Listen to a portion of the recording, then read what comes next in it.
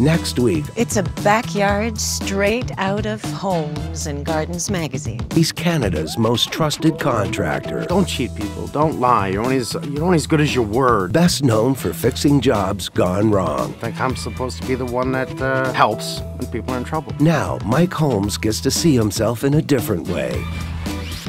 We have talent here.